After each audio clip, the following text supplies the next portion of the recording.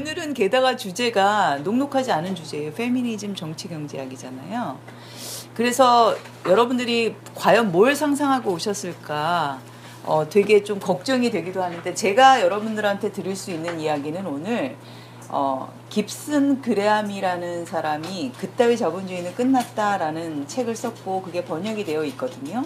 근데 그게 페미니즘 정치 경제학이라는 부제가 붙어 있어요 그 책에. 저는 오늘 그 이야기를 하려고 하고요. 어, 페미니즘의 시각에서 정치 경제학을 이야기한다는 것이 무엇인지 그 많은 이야기들 중에 하나 제가 중요하다고 생각하는 하나의 이야기가 무엇인지 이제 그거를 말씀드리려고 하는데 제가 제목을 자본주의의 구성적 외부 이렇게 잡아 보았고요. 자본을 넘어서는 상상과 여성주의 정치 경제학 이렇게 잡아봤어요. 근데 여러분들 이 강의를 본격적으로 시작하기 전에 제가 여러분들한테 말씀드리거나 물어볼 게 있어요. 여러분들 물어보는 거 되게 거북하시겠지만 왜 정치 경제학이 뭐예요? 경제학은 아시죠? 근데 왜 앞에 정치가 붙게 됐을까요? 언제부터 그럴까요? 대충 이 정치 경제학이란 말이 도대체 언제 만에 어떻게 쓰이게 됐는지 혹시 아시는 분 있으세요? 여러분들이 알고 있는 정치 경제학 그럼 뭐예요? 그걸 생각하면 금방 답이 나와요.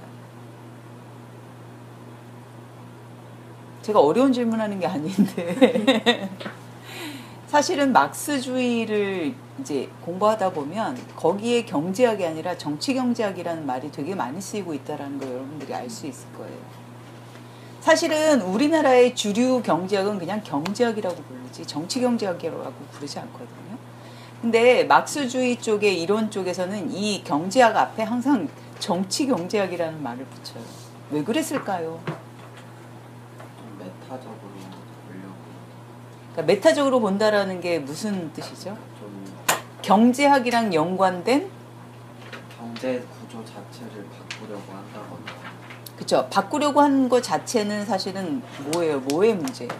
경제는 보통 경제 주류 이론가들에 의하면 굉장히 객관적인 사실에 대한 이론이다. 주로 그렇게 얘기하거든요. 그래서 맨날 통계 얘기하고. 그쵸 사실 그 통계가 근데 그렇게 맞아본 적도 별로 없고 제가 보기에는 여러분들 눈치채셨겠지만 겠지만 한 사건에 대해서 통계가 여러 개도 나오는 거 보셨죠. 그 중에 뭘 믿어야 될지는 또 다른 통계로 나오나요? 근데 어쨌든 되게 객관적인 혹은 사실적인 언어를 쓰는 그런 그 우리가 학문을 보통 경제학이라고 알고 있는데 거기에 정치 경제학을 붙였을 때 정치라는 말이 지금 말씀하셨죠. 근데 그 경제 그 경제학에 의해서 주로 어, 분석되는 그 경제를 바꾸려고 한다 그랬죠. 바꾸려고 한다라는 것은 어떤 의지일까요? 사실은 힘의 관계잖아요. 힘의 관계. 그리고 그 경제학이 어떤 정치적인 권력의 문제와 연관이 되어 있는지를 보게 되는 그렇죠. 그래서 사실 정치 경제학이라는 용어를 쓰는 이유는 뭐냐면 경제학 자체가 그 객관적 사실 그냥 그 자체가 아니라 굉장히 어떤 경제학 자체 혹은 경제 자체가 특정한 사회적 혹은 정치적인 배경 혹은 이념과 함께 구성이 되고 그것의 배경에는 항상 정치적인 어떤 이념들이 있다. 요거를 노골화시켜서 보여주기 위해서 정치 경제학이라는 그 명칭을 훨씬 더 많이 쓰는 것 같아요. 그래서 제가 사실 여성주의 경제학이라는 말을 안 붙이고 사실은 여성주의에서는 여성주의 경제학이라고 별로 잘 붙이지 않아요. 앞에 항상 보면 여성주의 정치 경제학이라고 주로 많이 붙이는데 그 이유는 뭐냐면 우리가 알고 있는 바의 경제학은 특정한 사회적인 이념과 혹은 젠더적인 이념과 관련되어 있는 힘의 권력 구조 와 관련되어 있음을 드러내서 보여주려고 하는 의도를 갖고 있기 때문인 거죠. 사실 그래서 여성주의 정치 경제학에서는 굉장히 많은 것들이 담론화될 수 있는데 제가 오늘 보여주려고 하는 것은 사실은 거기에 한 일부가 되겠어요. 다는 아니고 이제 그렇게 되겠어요. 그래서 제가 지금 말씀드렸듯이 정치 경제학이라고 했는데 사실 되게 지금 이게 앞에 또 더 붙었잖아요. 정치 경제학 앞에 여성주의가 붙었단 말이에요. 여성이 아니라 여성주의가 붙었단 말이에요. 그럼 뭔가 섹슈얼리티나 젠더와 관련이 되고 있겠구나라는 거를 여러분들이 눈치를 딱 채셨을 거예요. 근데 그러면 우리는 이렇게 금방 뭐라고 생각할 수 있냐면 그 정치 중에서도 페미니즘 정치와 관련해서 혹은 페미니즘 정치와 관련된 시각으로 경제를 어떻게 이야기할 수 있을까? 예, 문제와 관련이 된 거라는 것을 이제 여러분들한테 분명히 좀 해드리고 싶고요.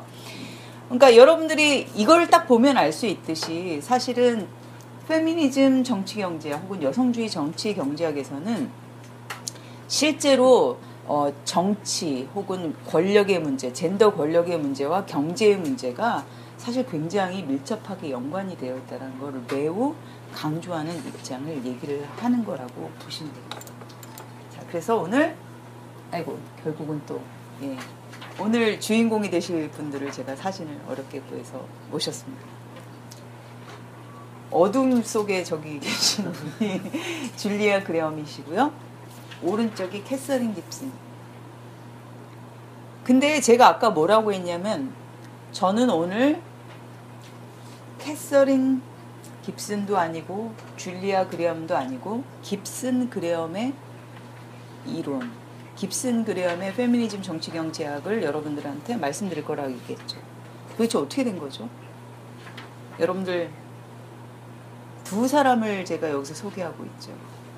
이 말은 뭐냐면 제가 아까 말씀드린 그따위 자본주의는 끝났다라는 그 책을 저술한 사람은 바로 저 두 사람. 근데 저 두 사람은 의기투합을 했어요. 그래서 너무 생각이 비슷하고 너무 하는 작업이 비슷하고 또 서로 얘기하면 얘기할수록 시너지 효과를 냈기 때문에 아예 책 자체를 갖다가 공동의 필명을 만들어서 내기 시작했는데 한 사람의 이름과 다른 사람의 이름을 합쳐서 거기 중간에 대시를 붙였어요. 그래서 깁슨 그레엄이라는 이름으로 이제 그 저자극 활동을 하기 시작했던 거죠. 근데 안타깝게도 2010년경인가 저 줄레어 그리엄이 예, 폐암인 것 같아요. 사망을 했어요. 주로 호주 쪽에서 활동을 했던 저분은 어쨌든 깁슨과 만나서 너무나도 신나게 돌아다녔어요, 두 사람은. 그리고 두 사람은 굉장히 특이한 업적을 냈는데 아까 말했듯이 정치 경제학이라 그랬잖아요. 그래서 어떤 경제학적인 자기네들의 입장, 정치 경제학적인 자기네들의 입장을 내고 그것이 그냥 사실이다 이렇게 주장하는 것이 아니라 그것이 사실이 될 수 있는 여러 사례들을 발굴하는데 굉장히 많은 이건 액션 리서치라고 하거든요. 그래서 활동과 동시에 리서치를 하는 거예요. 그러니까 연구와 동시에 리서치를 하는 그런 활동을 되게 많이 했어요. 어, 실제로 들어가서 어떤 활동을 한 거죠. 지역에 들어가가지고. 그리고 근데 이제 그러다가 한 분이 돌연 사망을 하게 됐어요. 여러분들 진짜 절친이 갑자기 없어진 거죠. 그러니까 사실은 이 캐서린 깁슨 같은 경우에는 매우 사실은 힘든 시기를 보냈지만 너무 놀라운 거는 이 두 사람이 정말 같은 필명으로 써서 되게 유명해진 책이 두 개가 있는데 그따위 자본주의는 끝났다. The End of Capitalism이라는 책 하나 하고요. Post 어 제가 하나를 Capitalist Politics라고 하는 어, 그 두 개의 책을 일단 같이 냈었거든요. 그런데 이 두 개의 책을 내고 한 사람이 죽자 캐서린 깁스는 매우 시리에 빠졌죠. 근데 이 두 사람이 이루어놓은 진짜 그 토대는 너무나도 단단했던 것 같아요. 두 사람이 맨 처음에 같이 이야기를 하고 작업을 시작했을 때 지금 제가 말씀드리겠지만 앞으로 제가 말씀드릴 이 이야기가 맨 처음에 경제학계 혹은 지리 정치경제학 지리학교에서는 뭐라고 이렇게 취급이 됐냐면 거의 미친년 취급이 됐었어요. 왜냐하면 그동안에 나왔던 정치경제학 혹은 경제학의 언어들을 완전히 비판을 했고 그리고 그것을 뛰어넘는 어떤 상상력을 발휘했기 때문이죠. 그래서 경제를 특히나 중립적이고 객관적인 사실로 믿는 사람들한테는 이 사람들의 이야기가 정말 헛소리로 들린다. 니네들 되게 발랄하게 상상하네. 그치만 니네들 놀고 있네. 약간 이런 식으로 굉장히 많이 반응을 했다는 거죠. 처음에. 근데 10년이 지난 후에 나중에 그따위 자본주의는 끝났다라는 서문을 다시 쓰면서 이 두 사람이 뭐라고 얘기하냐면 10년 전에 미친년이라고 손가락질하던 그 사람들이 어, 우리 이야기를 듣기 시작하고 우리와 같은 작업을 하기 시작하고 이제는 자기네들과 같은 작업을 하는 많은 젊은 사람들의 그 집단들이 생겨나게 된 거예요. 진짜 시절이라는 게 되게 웃겨요. 그러니까 한땐 정말 완전히 한 방에 갔던 사람들이 그렇죠? 10년 후에는 어때요? 정치 경제학계에 굉장히 주목할 만한 그런 세력으로 떠오르고 있었다는 거죠. 그래서 다행히도 이후에 캐서린 깁스는 혼자 남았지만 활동을 하면서 저 필명을 계속 유지해요. 혼자 글을 썼더라도 자기 이름으로 출판하지 않고 캐서린 깁슨이라는 말 이름으로 출판하지 않고 깁슨 그레함이라는 이름으로 출간을 한다는 거죠. 그리고 그때 함께했던 많은 젊은 학자들도 같이 책을 시작해요. 타자를 위한 경제는 없다. 라고 해서 좀 대중본으로 나온 그 책이 우리나라에 번역돼서 있거든요. 그 책이 바로 어, 그 활동을 같이 했던 다른 젊은 친구들, 더, 젊은 학자들, 연구가들, 활동가들이랑 같이 썼는데 그때 사실 줄리아 그레함은 이미 사망한 상태라고 저는 알고 있어요. 아 이런 관계 너무 부럽지 않아요? 이게 우리 요즘 너무 경쟁이 심해지다 보니까 되게 이렇게 친하게 지내다가도 어떤 사람이 혼자 잘 되면 사실 또 되게 그 관계가 불편해지는 경우도 되게 많은데 저렇게 의기투합해가지고 훨씬 더 두 사람이 함께 유명해질 수 있는 기회를 만들었다는 게 너무나도 저는 부러웠어요. 사실 두 번째 쌍이에요, 부러운. 첫 번째 쌍은 막스와 앵겔스예요. 아시다시피. 사실 막스가 그렇게 활동을 본격적으로 할 수 있었던 거는 앵겔스의 돈과 지진 거고 또 돈과 지지 격려만 있었던 것이 아니라 뭐 앵겔스도 되게 학문적인 능력이 뛰어났던 사람이니까 계속해서 논평을 해줬겠죠. 근데 그 두 사람도요 의기투합해서 계속 일은 같이 했지만 이름을 같이 써서 작업하지는 않았어요. 공동의 필명을 남기진 않은데 이 두 사람은 정말 공동의 필명으로 활동을 거죠. 그래서 그따위 자본주의라는 책을 딱 내고 아까 말했듯이 그 학회에 갔는데 사람들이 미쳤군이라는 어, 그런 이야기들을 이제 하게 되었다라는 얘기로 이제 시작을 하는데요. 제가 이거를 시작하기 전에 처음으로 먼저 말씀드릴 이야기가 있어요. 왜 미쳤다고 했는가? 왜 미쳤다고 했는가? 이게 여러분들 머리에 쥐가 처음부터 나실 거예요. 이게 쉽지는 않은 문제예요. 왜 미쳤다고 했냐면 딱 그 사실 하나뿐이에요. 경제는 객관적인 사실이다. 실제다. 이 말은 뭐냐면 주관이 어떻게 그것을 인식하건 말건 간에 그것은 그 자체가 가진 객관적인 법칙에 따라서 뭐예요? 흘러간다. 이렇게 보통 사람들이 생각하고 있어요. 그런데 뭐라고 말했냐면 저 사람은 사실 포스트 모더니즘의 영향을 많이 받았죠. 경제도 사실은 담론이다 이렇게 얘기했어요.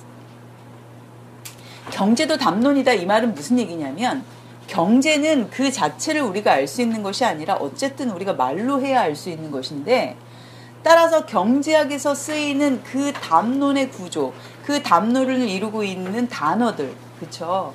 이런 것들이 사실은 뭐예요? 우리가 지금 얘기하고자 하는 그 경제학을 구성한다라고. 그러니까 만약에 내가 어떤 언어를 쓰고 어떤 이론적인 태도를 갖고 어떤 그 용어들을 쓰느냐에 따라 사실은 경제는 어때요? 다른 식으로 완전히 다른 식으로 구성될 수 있는 사실이 되는 거죠. 이게 말이 되게 어폐가 있네요. 구성되는 사실. 그렇죠. 사실인데 구성된다라고 지금 계속 얘기하고 있습니다. 게다가 이 사람들은 뭐라고 얘기했냐면 그런 사실들이 아직 그 담론 체계가 없기 때문에 우리가 모르는 그러한 사실들을 더 발굴해 줄 수 있다는 거. 그래서 실제로 자신들이 새로운 담론을 제시하고서 그 담론을 증명하기 위한 사례들을 아까 말했듯이 액션 리서치라고 하는 작업들을 통해서 전 세계로 찾으러 다녔고 조금이라도 그런 여지가 있는 곳에 가서 같이 활동을 하면서 그 세력을 넓혀가기 시작했어요. 그럼 어때요? 자기네들이 될 수 있는 근거들은 훨씬 더 많아지는 거죠. 이거는 그러니까 이렇게 되면 사실은 어떻게까지도 보이냐면 실제가 우리를 구성하는 게 아니라 우리가 우리를 구성하는 게 아니라 우리가 어떻게 말을 하느냐에 따라서 실제가 어떻게 드러나고 또 어떻게 구성되고 어떻게 변하기도 하는 거예요. 그러니까 완전히 경제학을 접근하는 처음에 출발점 자체가 완전히 달랐었어요. 그렇기 때문에 미친년이라는 왜? 너희들은 발랄한 상상을 하고 있구나. 그렇게 말만 바꿔가지고 경제가 그렇게 달라질 것 같아? 라고 생각을 한 거죠.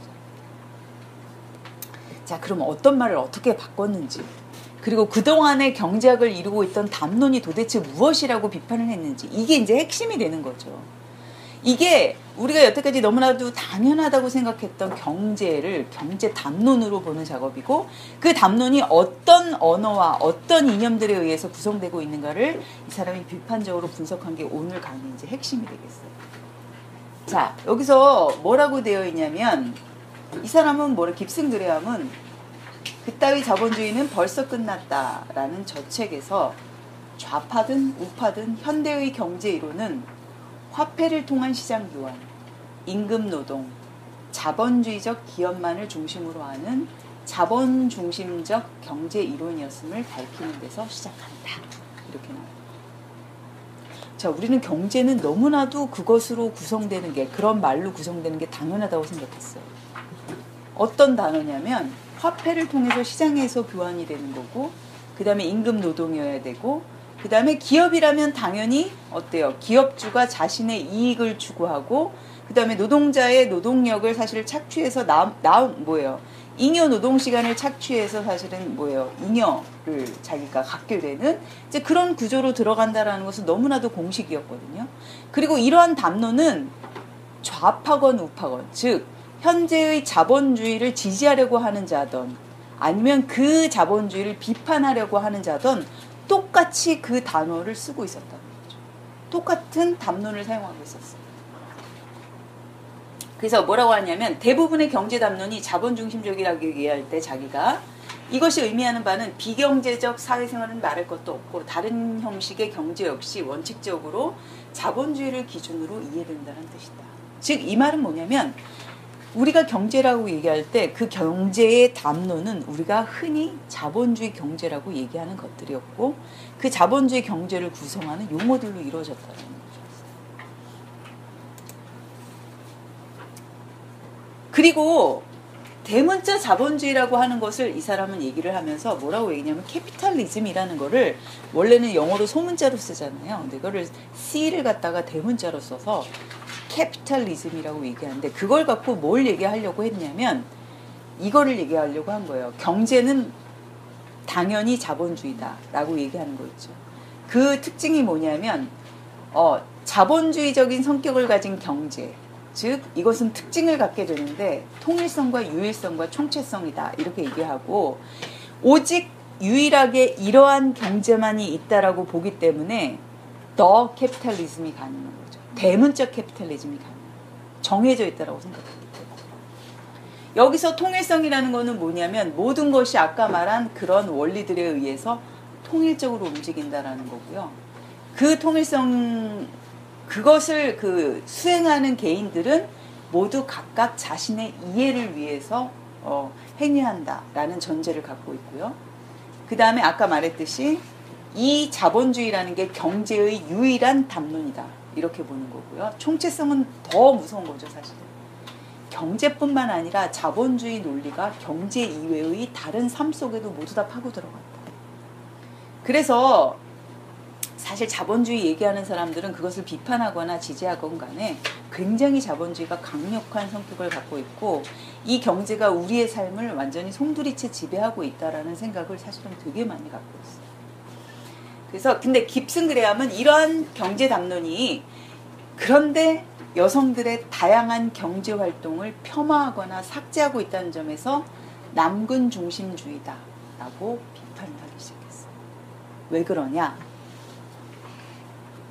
근데 이 얘기를 하기 전에 사실은 이 남군 중심주의라는 것은 사실 이리가레이가 주로 얘기를 했던 거거든요. 근데 여러분들 이리가레이를 또 이렇게 제가 계속 얘기할 수 없잖아요.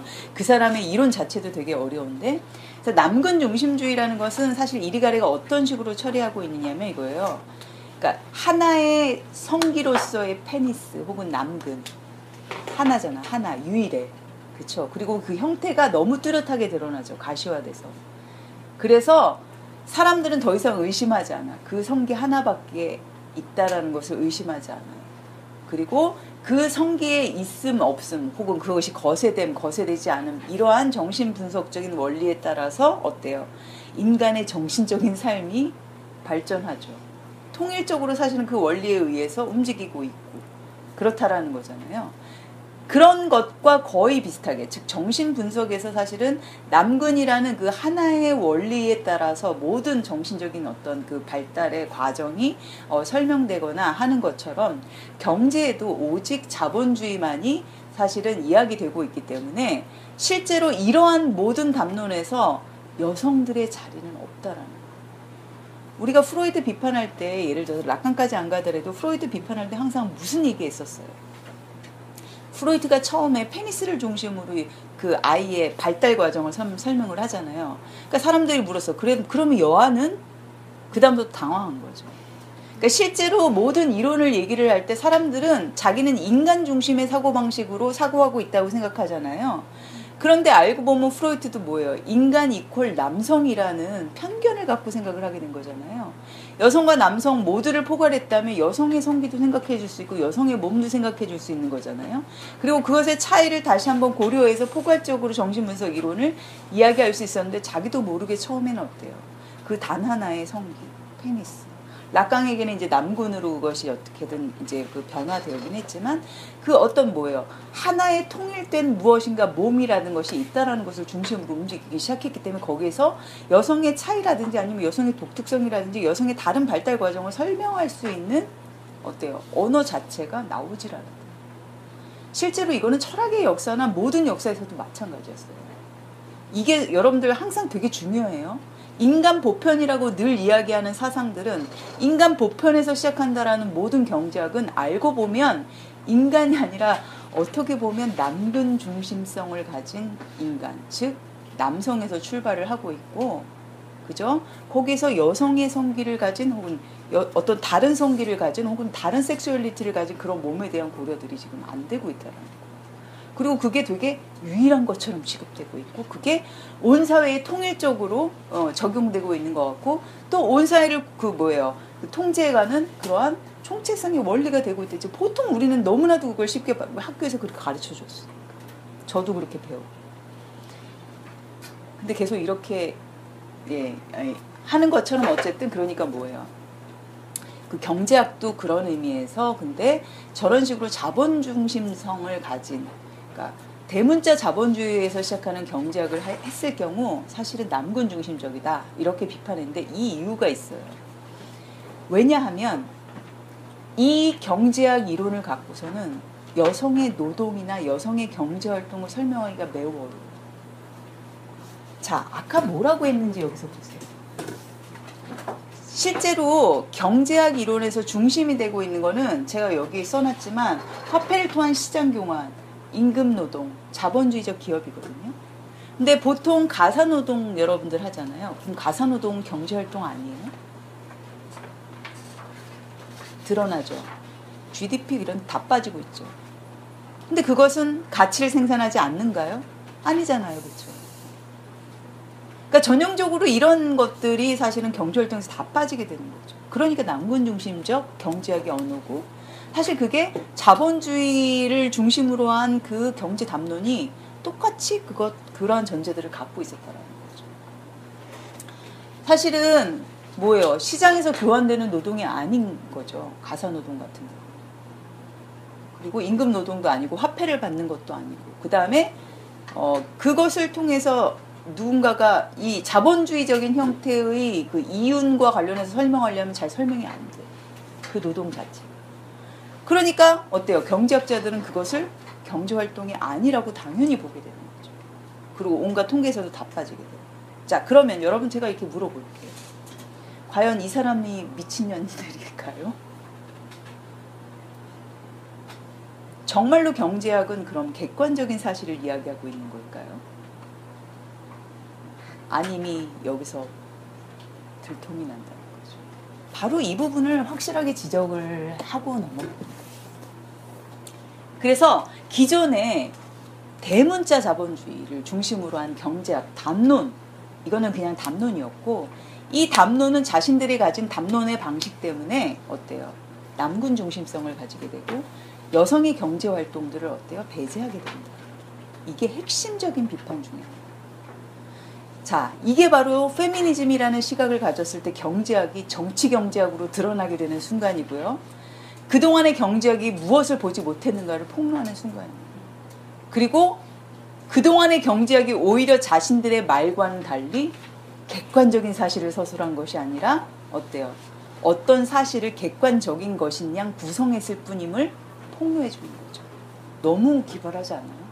막 감동이 밀려오더라고 저 책을 보는데. 근데 사실 사실 맨 처음에는 감동만 밀려오진 않아서 굉장히 짜증나게 쓰여져 있어요. 저 책은 경제학 책이라고 정치 경제학 책이라고 보기에는 되게 철학적이에요. 왜냐면 담론, 전제 아까 말했듯이 그 메타 담론이라고 하는 것들을 얘기를 해요. 너무 저는 재밌는데 다른 사람들은 너무 괴로워하더라고요. 그리고 특히 경제학 하는 사람이 이게 경제야? 이제 이런 식으로 나오고. 그 다음에 또 하나 이 사람이 정말 굉장히 통쾌하게 이야기한 지점이 있는데 그게 뭐냐면 이거예요. 특히 좌파 경제, 정치 경제학자들을 사실 같이 비판해요. 주류 경제학자들 뿐만 아니라. 그랬기 때문에 미친년 소리를 더 들었어요. 왜냐하면 스스로 깁슨 그레함은 뭐라고 얘기하냐면 자기네들을 Marxist라고 얘기해요. 그런데 Marxist들이 무엇인가를 잘못하고 있다는 것을 계속 비판했거든요. 근데 원래 비판 당하면 기분 안 좋잖아요. 그러니까 하여튼간 이 둘은 어때요? 또 trouble maker가 되어 있었던 거죠. 지금 우리 사회에서 좌파들한테 사실 여성주의자들이 약간 트러블 메이커가 돼 있는 것처럼 거의 비슷한 상황이었던 것 같아요. 너무 이해가 잘 되더라고요. 뭐라고 얘기했냐면 이렇게 얘기했어요. 좌파들이 뭐라고 얘기했냐면 주로 이야기하는 방식이 이거예요. 자본주의를 비판하잖아요. 자본주의를 비판하는데 그 자본주의가 어떻게 구성이 되고 있는지 그 담론적인 전제를 보려고 한 게 아니라 그 담론을 일단 전제를 하고 너무나도 당연한 것으로 여긴 다음에 뭐라고 얘기했냐면 그래서 세계는 자본주의라는 원리 하나만에 의해 그 통일적인 원리에 의해 움직이고 있고 그것들이 이 세계를 뭐예요? 모두 다 뭐예요? 식민화하고 있다. 이 태제를 내세웠다. 그래서 심지어는 무엇이라고 얘기했냐면 자본주의를 비판하려고 했던 자들도 어떤 결론에 도달하게 되냐면 자본주의는 너무나도 무시무시하고 강력한 힘이에요. 왜냐하면 주관이 어쩔 수 없는 객관적인 힘이기 때문에 어쩔 수 없는 거지. 되게 어쩔 수 없는 거고 너무 강력하고 그 힘은 모든 사람들에게 있기 때문에 그리고 통일적으로 그 다음에 우리 사회에 총체적으로 관철되기 때문에 우리는 아마 아무리 저항하더라도 다 먹혀 들어갈 거예요. 그래서 좌파 사실은 지식인들은 어떻게 보면 이 사람 말에 따르면 역설적인 상황에 직면합니다. 왜냐하면 자기는 원래 이 말을 왜 했냐면 자본주의를 욕하려고 얘기를 했던 건데 그 말을 하면 할수록 즉 자본주의가 굉장히 강력한 괴물과 같이 그렇게 우리 사회를 파고들고 있다라는 것을 얘기하면 할수록 어때요? 몰래요. 원래 얘기 자기가 이 얘기 끝낼 때는 이 사회를 변하게 하려고 했던 거거든요. 근데 이 사회는 절대로 변할 수가 없다라는 결론에 도달하게 되는 역설적인 상황을 갖게 된다는 거죠. 왜? 다른 언어가 없기 때문에 뭘 막혀 뭐야 먹혀 들어갈 수밖에 없는. 그래서 좌파들은 자신들은 자본주의의 외부를 상상하고자 했지만 그리고 그것에서 벗어나려고 했지만 실제로 자본주의 담론 자체를 갖다가 다시 돌아보지는 않았기 때문에 어때요? 자본주의 외부를 상상할 수 없게 되는 난처한 곤경에 처하게 된다라는 게 이 사람의 비판이에요. 그러니 얼마나 불편했어요. 당시 얼마나 불편했겠어요. 어, 그리고 이 사람들의 생각은 저도 약간 좀 약간 성향상 좀 비슷한 것 같은데 어떤 이론을 되게 좋아하고 싫어하고는 물론 사람 경험과도 관련이 되겠지만 그 사람의 약간 성향과도 관련이 되어 있는 것 같아요. 저는 약간 좀 어떻게 보면 무지하리만큼 되게 낙관적인 때가 있어요. 되게 일단 좋게 생각하고 보는 게 있거든요. 그래서 일단은 아 지금 내가 뭔가를 추구하고 있는데 이게 굉장히 아직도 미약해 이렇게 생각하기보다는 완전히 자기의 흠뻑 젖어서 아 이거 되게 잘 될 거야 이런 생각을 되게 많이 하는데 저 두 사람도 그랬던 것 같아요. 근데 당시의 분위기로서는 당시의 좌파들은 실제로 공산주의가 계속해서 세계적으로 그 뭐야 공산주의 국가가 해체되거나 망하는 꼴을 계속 보고 있었고 그러면서 자신들은 어때요? 자본주의에 대한 오히려 두려움이 굉장히 많이 쌓여 있었기 때문에 실제로 시, 말은 굉장히 뭐요? 강력하게 자본주의를 비판하고 욕하지만 그에 비해서 실천력은 매우 떨어지고 우울증이나 파라노이드 증세 같은 것들을 굉장히 시달렸던 이제 그런 부침을 겪고 있었거든요. 그러니까 심리적으로 봤을 때도 이해가 안 되는 거지. 이 두 여자분들은 학자들은 어때요? 너무 신나서 막 아 이제 자본주의 막 바뀔 수 있을 거야. 이 담론을 달리하면 막 이러면서 상상을 하고 재밌게 이야기하고 있는데 이 사람들이 보기에는 진짜 지금 뭐 하는 거냐. 이제 이렇게 되는 거죠. 그래서 네. 됐어요. 자, 그러면 이 사람들은 어디서 이런 낙관주의가 오는가라고 얘기했을 때 딱 한마디로 얘기하면 이거예요. 우리가 경제 담론 자체를 바꾸는 겁니다.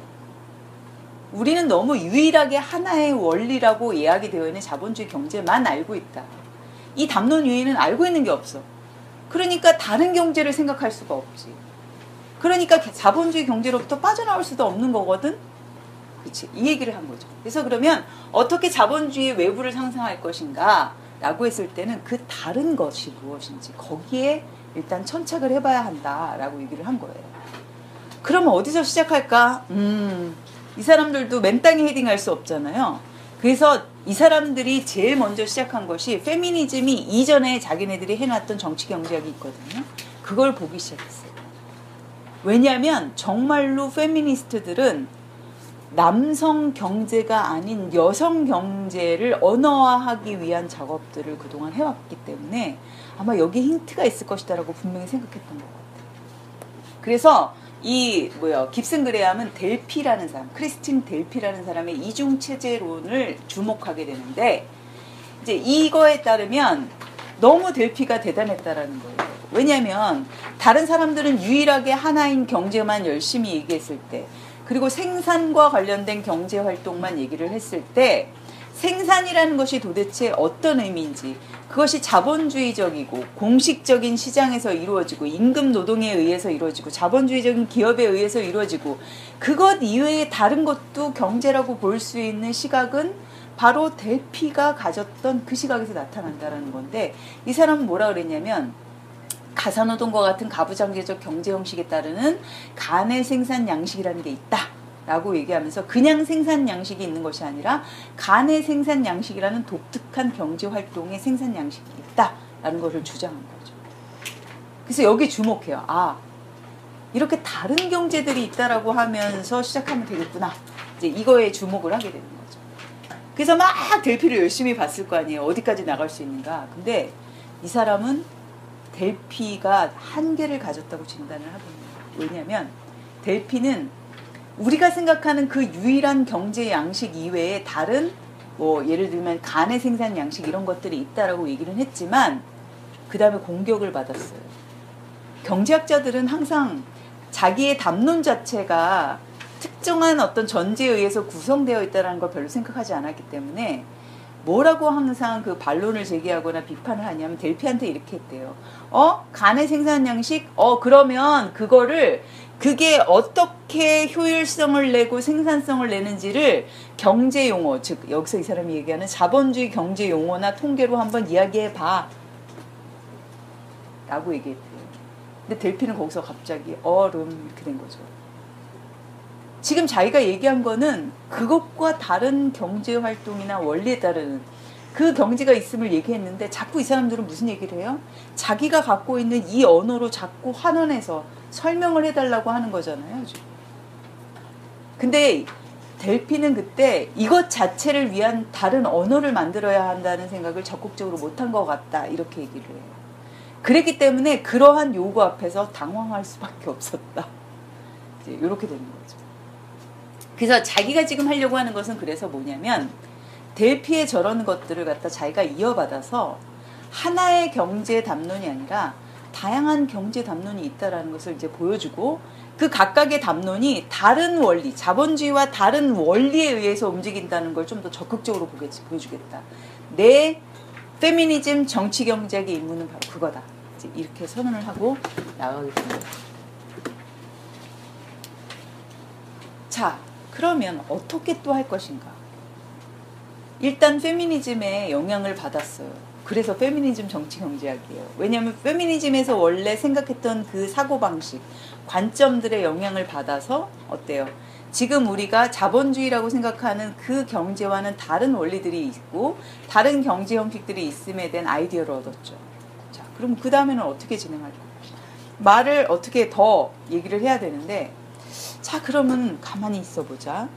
하나의 경제 형식이 아니라 다양한 차이의 경제 형식들이 있다는 건데 내가 여태까지 내린 결론으로 봐서는 그러면 이 다양한 경제 형식에 대해서는 어떤 식으로 정당화할 수 있을까? 라고 얘기가 됐는데 그동안 다르다는 것이 어떻게 처리됐는가를 여러분들이 한번 보셔야 돼요. 똑같아요. 이, 이, 이 사람이 왜 페미니즘 정치 경제학인지 여기서 분명히 드러나는 게 이 사람은 여성의 가사 노동에 대해서도 얘기했지만 실제로 정치 경제학을 이끄는 관점과 그 논리들을 페미니즘 철학 안에서 다 가져와서 여기다 적용시키는 거거든요. 이런 점에서 나는 너무나도 정말 이 둘이 훌륭하다고 생각하는데 뭘 가져오냐면 이거예요. 다시 프로이드 얘기로 가볼게요. 프로이드가 아까 그런 질문에 당면했다 그랬죠. 아니 그럼 여자는 이런 질문에 당면하게 됐다 그랬죠.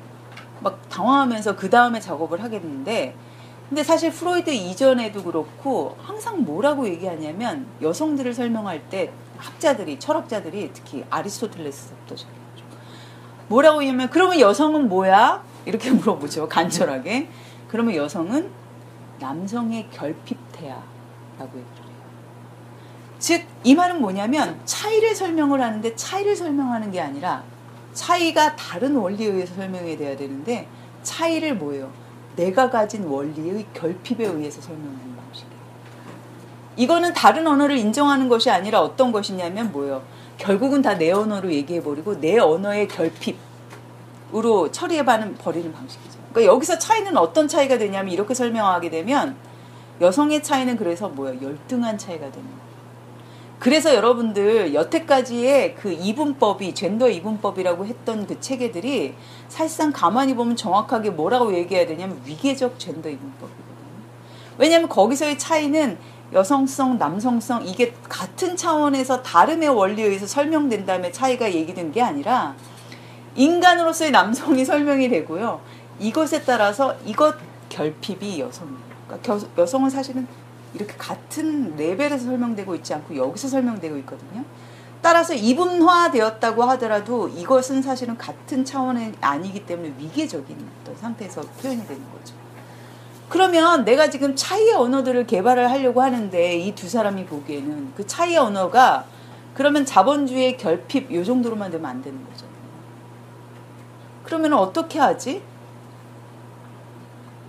그런 식으로 되면 안 된다라는 사실에 대해서는 이 사람은 되게 잘 알고 있고요. 그렇기 때문에 결핍에 의한 다름이 아니라 정말 차이의 원리들이 무엇인지를 좀 더 적극적으로 밝혀내는 이제 그런 작업들을 해야 되고 그런 언어들을 어, 구성해야 한다. 그래서 그 차이로서의 여성을 여성의 차이들을 이제 우리가 좀 더 적극적으로 생각할 필요가 있다.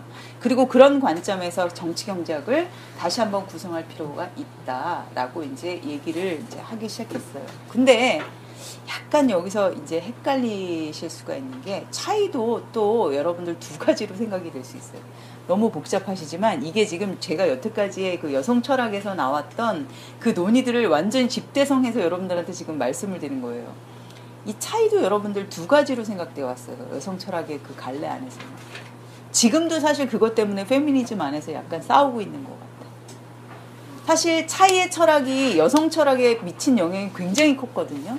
근데 두 가지로 다른 방향으로 사실은 진행이 돼요. 하나는 뭐냐면 남성과 여성의 차이라는 이 이분법적인 구도는 그대, 그대로 두면서 차이를 가는 거예요. 그러면 여기서의 차이는 남성이 갖고 있는 어떤 속성, 그 다음에 여성이 갖고 있는 속성. 사실 속성 자체는 있는데 다르다. 요 정도로 되죠. 그리고 얘네들은 젠더가 두 개다. 그죠. 여기까지는 일단은 그대로 둔 채 그래도 이제 그 이전의 그 남성 중심적인 이론을 비판하는 쪽에 차이의 이론을 구성하거든요. 이게 하나의 경향이에요. 근데 다른 하나는 뭐냐면 좀 더 급진적인 차이의 철학을 영향을 받는데 이거는 뭐냐면 여성들 자체가 차이다라고 얘기를 해요. 이 말은 뭐냐면 여성의 속성을 어떤 하나의 속성으로 통일화시켜서 이야기하는 것이 아니라 여성을 어떤 식으로 얘기를 해야, 해야 하냐면 그 안에 수많은 차이들이 있는 그런 존재들로 볼 때 그것이 오히려 뭐예요? 여성들을 제대로 파악하는 것이다. 그래서 여성은 항상 여성이 아니라 대문자 여성이 아니라 여성들이다. 이렇게 얘기하는 차이의 철학의 라인이 있어요. 여러분들 이게 되게 우스운 것 같지만 요거 어떻게 이해하느냐에 따라서 지금 뭐지? 요즘 한참 또 막 활발했던 SNS상에서 아시죠? 뭔지. 예. 그 논의와 관련해서 자기가 어떤 입장을 취하고 있는가도 그 다 관련이 되어 있는 거고. 어디까지가 자기 입장일 수 있는가. 근데 깁슨 그레함은 오히려 후자를 택했습니다. 여성의 그러니까 델피 같은 경우에는 아까 간의 생산 양식이라는 또 하나의 어떤 언어들을 만들어내서 생산 양식, 간의 생산 양식 두 개를 얘기했잖아요. 요랬다면 뭐예요? 깁슨 그레함은 어떻게 얘기하냐면 여성들이 하고 있는 그 경제 양식은 하나의 언어로 설명될 수 없는 오히려 그 하나가 아닌 그런 점에서 매우 다양한 언어로 구성된 이제 그러한 특징을 갖는 경제 활동을 하고 있다라고 얘기를 거죠. 그래서 이러한 차이의 여성주의 철학 안에서 사실 정치 경제학을 다시 구성하게 되면 어떻게 되냐면 경제라고 했을 때 여성 경제, 남성 경제 이렇게 드러나는 게 아니라 남성 경제라고 우리가 알고 얘기를 했던 그 경제학의 외부에 있는 굉장히 다양한 그 차이의 경제들이 확 드러나는 것이다. 즉, 이러한 차이의 여성주의의 관점을 갖게 되는 순간 경제는 어때요? 그 자체로 차이의 경제가 된다. 이런 시각으로 이제 나가. 여기까지 따라오셨어요? 네. 진짜 어, 내가 생각해도 제가 기특해요. 이거 진짜 책을 읽어보세요. 절대 이해 못합니다. 예. 5분 안에 잠드는 책이에요. 제가 오죽하면 안 갖고 왔겠어요. 예. 그 정도로 사실은 이게 그 안에 철학적인 어떤 전제들을 이해 못하면 책이 잘 이해가 안 되거든요. 실제로 여러분들 있잖아요. 우리나라에서 경제학을 하시는 여성분들도 이 이론을 몰라요. 그리고 이렇게 이 이론을 알 수 있도록 한 번도 사실은 학습되어 온 적이 없어요. 그리고 겨, 경제학회 같은 데서 이런 여성주의 얘기하면 벌써 2단으로 딱 찍히는 거거든요. 교수가 될 수가 없어요. 한마디로. 철학에서도 마찬가지예요. 저요, 저, 맨날 얘기하잖아요. 제가 그거. 어, 저 여성 철학 공부하고 왔다라고 첫 번째 그 제가 유학 갔다 가지고 얘기하는 순간 이미 주류학계에서는 제외됐어요. 예, 어떻게 할 수가 없어요. 이렇게까지 물어봐야 도와주시려는 분들. 아니, 그래서 칸트를 했냐고, 해결을 했냐고, 이렇게 물어요. 답답하게 그죠. 지금 우리가 하는 작업들이 그런 거예요. 그러니까 저도 미친년이죠. One of them. 자랑스럽게 말할 수 있어요, 요즘은. 왜냐면 저는 몰랐어요. 페미니즘으로 돈도 벌 수 있는 시대가 올 수 있으리라는 걸. 근데 정말로 제가 돌아왔을 때까지만 해도 여러분들 페미니즘 혹은 여성학 강조합 수강생 저조로 막 폐지되고 이랬었어요. 요즘 다시 사실 리부트가 된 거예요. 근데 또 몰라요. 언제 다시 또 그렇게 될지. 근데 어쨌든 요즘 저는 까칠남녀도 나가고 있고 돈은 정말 요만큼밖에 안 돼요. 그분들도 제가 되게 싼 값이기 때문에 계속 쓰시는 것 같은데 싼 값에 쓸 수 있는 유일한 이제 전문가 역할 어, 대행 뭐 약간 이런 거기 때문에 쓰는 것 같은데 어쨌든 당시에 저 얘기를 했을 때도 그러니까 어때요? 너무나도 익숙하게 우리가 갖고 있는 어떻게 보면 플라톤서부터 서양 사상의 계열 안에서는 저게 너무나도 당연했던 하나의 이론은 인간 중심적으로 돌아가는 거고 인간 중심적인 것은 자기네들은 말하는 하지만 남성을 표준으로 여기고 있었다라는 이 사실 이 사실을 가리고 있었었는데 이거 니네들 가리고 있었지라고 말하는 순간 어떻게 그 이단원이 되는 이제 이런 상황이 이제 얘네들도 된 거죠. 그래서 부단히 이 사람들은 정말 싸웠고 제가 이 사진 다시 보 아니 주셨어요. 오른쪽에 계신 테서린 깁슨이 왔었어요. 와 근데 돈 이 정도의 여러분들 그 네임을 갖고 있으면요 누군가 저 1억 받고 왔다는 얘기 들었어요. 서울시에 사는 거. 근데 이거 이분 있잖아 올 때 뭐라고 얘기하셨냐면 자기 한국 사례도 더 이야기하고 싶고 분석하고 싶고 활동가들을 만나고 싶다. 자기 돈으로 왔어요. 그리고 심지어 자기가 펀딩 받은 돈은 자기랑 같이 일하는 그 후배 동료들이 있거든요. 그 사람들 비행기 값도 줬어요. 그리고 호텔 1등급 1성 뭐, 뭐 5성 호텔 뭐 전혀 그런 거 없이요. 거의 모텔급에 가까운 호텔에서 마지막에 주무시고 갔어요. 나 진짜 이 언니라고 부르고 싶어요. 근데 이분이 기가 꺾이지가 않더라고요. 그 기운이 지금 상당히 나이가 됐는데도 불구하고 제가 그 기운을 감당을 못하겠어요. 그런 정도로 열심히 계속해서 어쨌든 그 낙관적인 태도로 이제 가고 있는 거죠.